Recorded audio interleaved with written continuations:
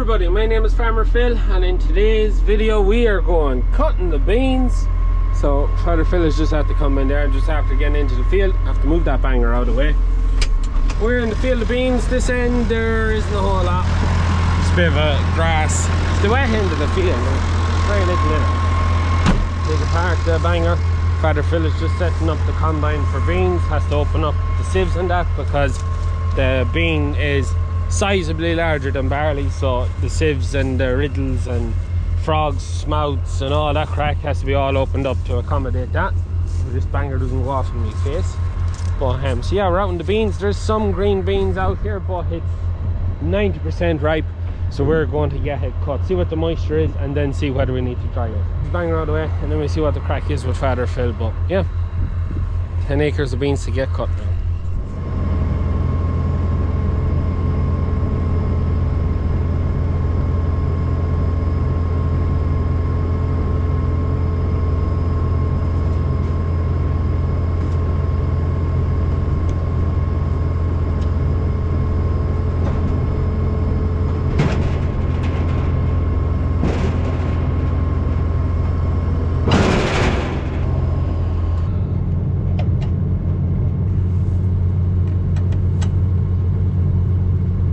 combine here with the pipes you have lefts and rights so one of these pipes is a left hand tread and the other pipe is a right hand tread. And if you don't have these very tight with your hand it won't work.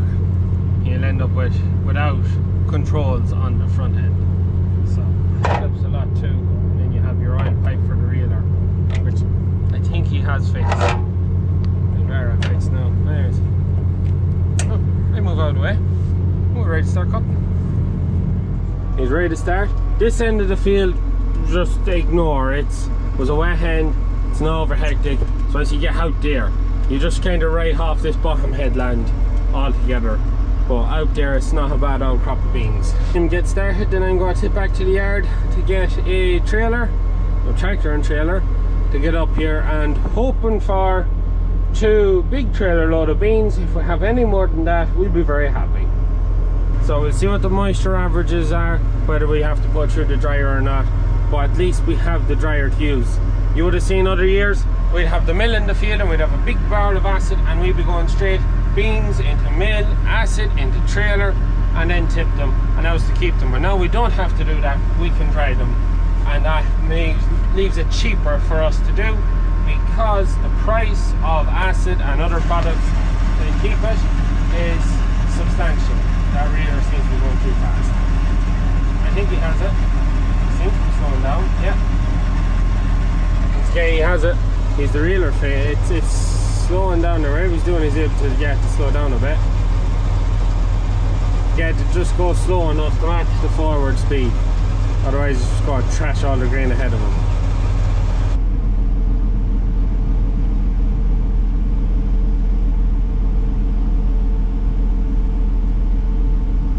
this back into the yard out of the way. We'll check and see what it's like coming out of it. You can see the dust coming off the combine. Dust is always a good sign. So we get out to where there's pretty decent amount of beans and we see what the thing is like. There is a percentage of the beans is down. You have where the sprayer would have drove the pot and chocolate spot and that, so there's a percentage of that is down. Really and truly, we check this side where all our beans are nearly up. We want to check to see some beans lying down but what we're looking for you have a percentage lying down. What I'm really looking for is to see any shedding. So there's two beans there. Looking looking there's a bean there there's a bean there. Few beans. I don't think it's enough to be concerned. Straw? What straw? There's, there's none, literally. Um, it's that bit of green stuff. i Probably not to go bail straight away now. Seminary, look, a lack of straw is kind of saying that maybe there's not enough plants per square meter to get a good yield. So that's where we're at. Uh, there should be more straw. Because there's not now that is an RS so she has two drums so she really beat down the straw. Compared to the other combine whether that has anything to do with how much a physical straw looks because you can see yourself like it's really fat compared to other years. That's just the first round of the have to see how it turns out. But um yeah. Hey we're getting it cut that's the main thing. And it's still only the 12th of september. I think actually it was the 12th or 13th it's a the other we go get a tractor and a trailer ready to get, take whatever beans we have out of here and then go back in our trailer so hopefully fit on two trailers then we have to go combine a bit of organic crop for a man and then we're all going back to what we were doing beforehand I think I'm going back harrowing and Father Phil is going back rolling grain for customers. Uh, Lee is away at Slurry and Bro is in college. So, won't be seeing much of Bro from now on, probably until next summer, because he is now a college student. Anyways, we'll be on back to the yard, we get the 3690 and the terrific grain trailer. So we're just in the field and Father Phil's waiting. Not what I want to see, but anyway, what can you do?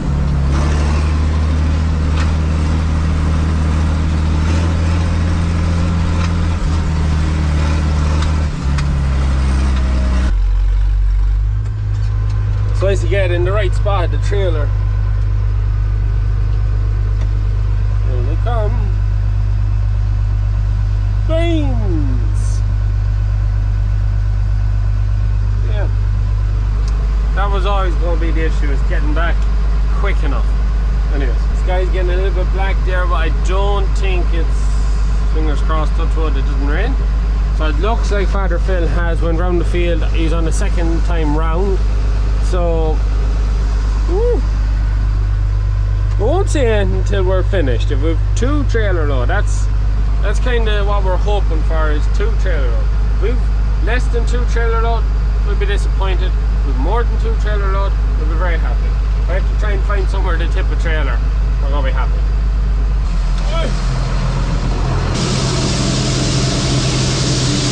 What's the moisture? 20 Oh, Pull through the dryer. Yeah. So 20%. 20% moisture. So you're going to have to go through the dryer. But that's not a big deal.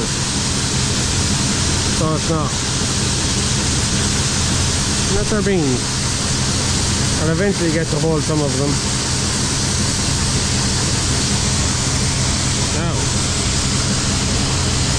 That's our beans. A little bit of trash in it. But doesn't actually feel too damp. But 20%, that's probably the driest we've ever caught our beans. What, last year was 23, the year before was 28. There's some little small beans there, but I think the most of them seem to be pretty good plump bits of beans. Yeah. Happy days. So just left the trailer on a pass in the centre of the field. So should be pretty safe. She shouldn't sink. The fridge just opening up the larger half of the field. Dust is dying off of it. Dust, you might hate to have to work in it, but it's always a good sign when you're at this job. We'll be home back to the yard and pick up the other trailer that's full of spring barley that was cut at a field close to the house and was kind of left in the shed because we knew we were going to have to do this run so I'd save a run having to drive up and then drive back. So that makes any sense. Oh we have space in the shed up here to take barley so we're going to bring up a trailer that's full of barley a spring barley that was cut at moment more cut in Killashee to tip in there with other spring barley. And um, yeah they will have our second trailer for the beans. While last year we had two trailer load of beans they were a 14 foot and a 16 foot trailer. This year it's to hopefully two 20 foot trailers. So that would mean we'd be up we have more acres. If I see more acres it's about an acre an acre and a half more so it's not a lot. But bigger trailers hopefully we'll have the full sit that was just leaving the yard. And I think we have the combination everybody wants to see or I definitely want to see it anyways. The 3690 on the Massey 700 grain trailer or a roof trailer.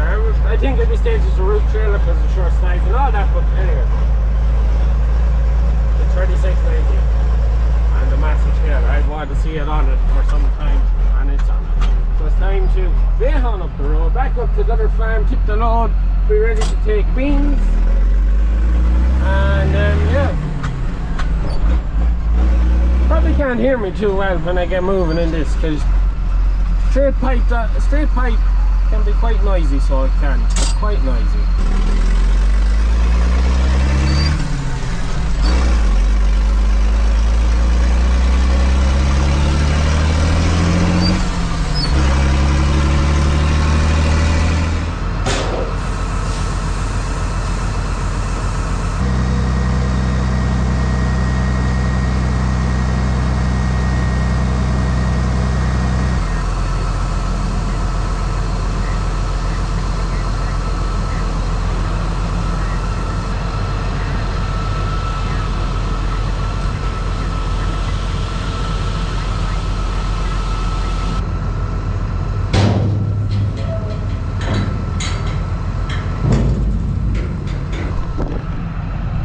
That's the trailer emptied. And um, something that always me off is when someone doesn't tidy up that bit off the back of the trailer and then spills it on out the shed. Anyways, we're ready to go. So I'm to fire up the drone straight away now because I don't know how much is left and I want to get some good footage. So we'll fire up the drone.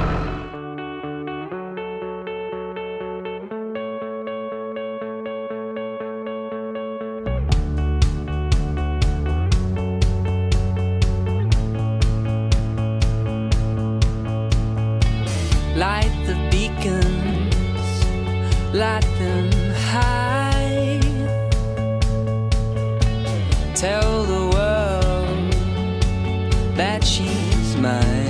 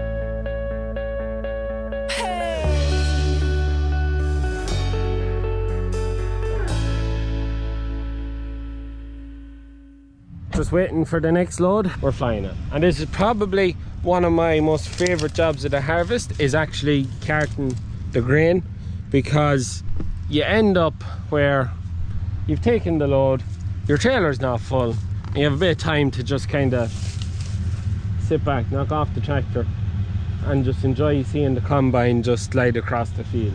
Damn the combine. For all the hassle we had getting it to the yard touch wood it is you can see yourself you're humming away now the f- reeler is still going too fast.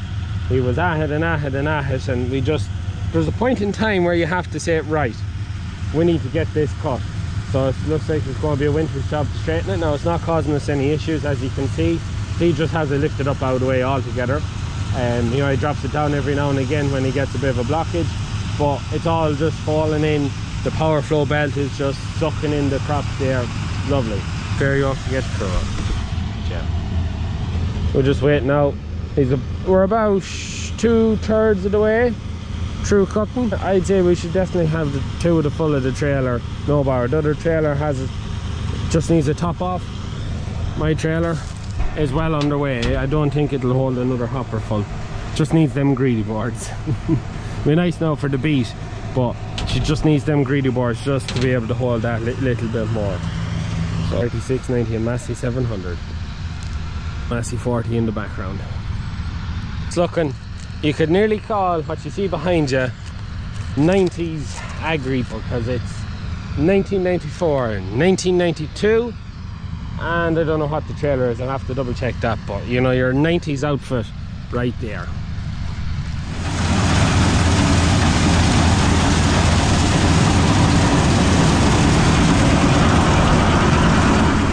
So we're now in the cab with Father And Alfie, his trusted companion. Must be the good luck dog, is he? so how's it going? Oh, she's flying it. Well able for it. It seems to really trash the be- jizz out of the, the bean straw. Not the left. There's very, yeah, there's very little left. Not going to be a lot of beans off it, but I won't wait on you. ah, we'll run up the baler tomorrow at some point. Baler, though. Uh, you might get or ten minutes. Look, there's whatever's on it, it's, it's more than we had yesterday. Yeah. Lovely clean crop of stuff. Yeah, no dirt in it. You can see there, it's just been. How do you think it's yielding overall now? We're over 2,000. Yeah, Well, no, we're finished now. I'm much over 2,000. yeah, And you're quite happy with it for a wet summer? yeah. Doesn't seem too bad The only way we're cutting is smudge, dust off. Yeah, there's a serious dust off it. Look the drone up there and it was serious altogether. You can't see it with the dust. Yeah. Ugly. So just as I was kind of finishing up there, uh, got a wire and fault on the straw walker. So I just have to check to see that everything is still running. So he's going to unload into that. So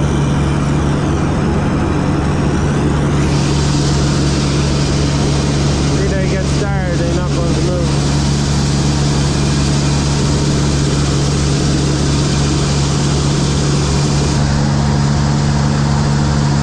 Yeah, all the straw walkers are moving there. It must just be a wire or something come off.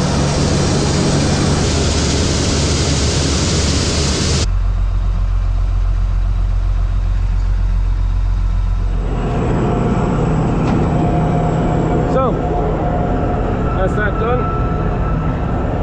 And that's this trailer finished.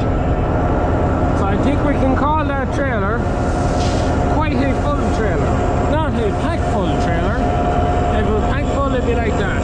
Whereas this is going to overflow going across the field. That'd be pack full. But that, that's that's what you call quite a nicely full trailer. Not going to have any spillages, but you wouldn't fit another half of stuff into it. Or half a ton in it. See what finishes up and what he has to fill into the other trailer. So I'm going to bring this down to the shed, back it in, and hook up to the other trailer so that we can get both trailers off the field for this evening so that we don't have any left out in the rain. And there is the last of the beans. He's repositioning himself. Could actually just get tight to fit them all in now.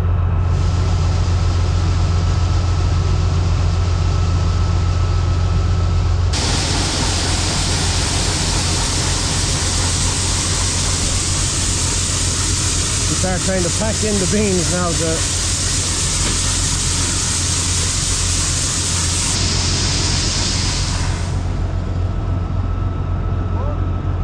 You're from Oran.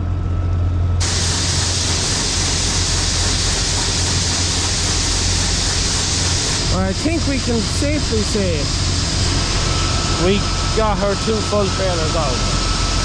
The trailer's packed full. The other trailer is full. It is a packed full trailer. To get ourselves hooked up here and we'll be home back with this trailer and get the other trailer beans tomorrow and we'll probably go drive them over the weekend.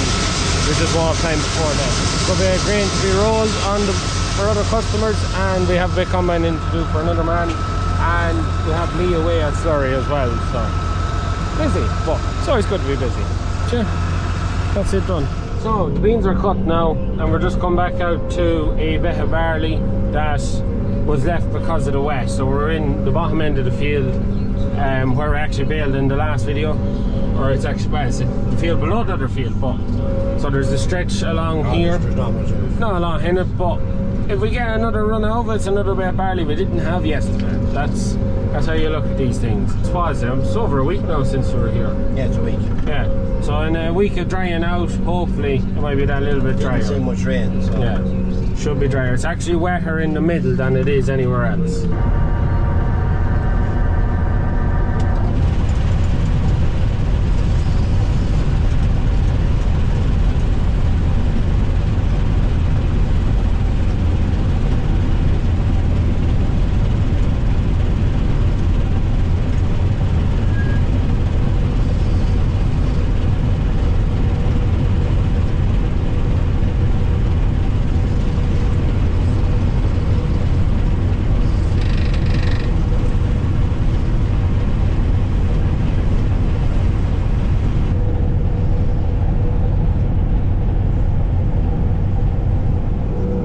And that is that. So of that little bit we caught, just you can't really see into the tank from here, but um, there's about a half ton bag full of grain in the in the hopper. So 500 kilos. yeah, it's not bad. It's a day's feeding for a cattle. Well, maybe not a day's feeding for all the cattle, but hey, Penny it's more than we had yesterday. So that's the way you look at these things. So we hung back up. uh, You're going off rolling. I'm going to go back with the grain. What am I doing then? Loading up the load bed. Oh, I loading up the teleport to go to the next job that's Kobe Round. Yeah. So, well, there, uh, that is the crack. Yeah. Squeeze in back out here. And that is us headed for home. So we're tight on space to get the combine in. Till I get up tomorrow to move, the, bring home the other load of grain. We have Liv and Alfie with me. Father Phil, Mother Phil and Liv come up with the tea. We had tea. Phil's gone on with Father Phil to bring him to where he was rolling to get that finished. Liv's coming home with me. Why not? And I'm bringing home Alfie because, well, yeah, Alfie's just not going rolling. So we have a big load on behind us. We'll have her packed up.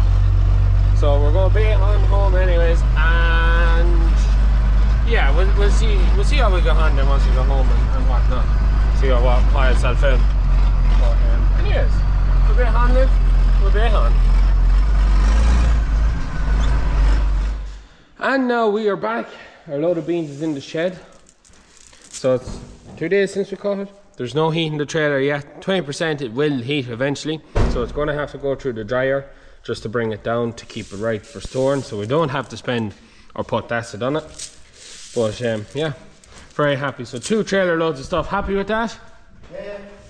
So it's hell for leather here getting ready for the ploughing championships next week. We'll be going with our horse box here and a lot of merchandise and that. Lastminute.com. As as one of my uncles, I remember him saying, if it's not last minute, it's not worth doing. What was it? No rush, it's no good. If it's not a rush, it's no good. So we're just getting ourselves geared up here to go. We'll be on stand 205 with Egmont Haggery. We'll be there with the Moors and all that crack. Uh, Liv will just stick in there what row and that it's on, but it's stand 205. So we'll be there from 11. The horse box will be open from morning till evening, but I'll be on the stand from 11 o'clock on the three days. Father Phil will be around the show on Tuesday. Tuesday. And yeah, we'll have more information on Sunday's video. This is a bit last minute, but um, yes, it's hell for leather at the minute just to try and get everything sorted. But the beans is cut, very happy with the yield, and it's time to get them dry, get them rolled. But that's going to be next week's problem while we're at the ploughing. That'll be Father Phil and Lee probably doing that. But anyways, we're going to leave it at that for today's video. Hope you enjoyed it. Probably my favourite bit of drone footage of the year with the 3690. Thumbnail is top notch. Liv showed it to me. Super job. But um, hope you enjoyed it. As always, please like and subscribe to the channel. Videos every Tuesday, Thursday, and Sunday. Hope to see you all at the Ploughing Championships. Good luck.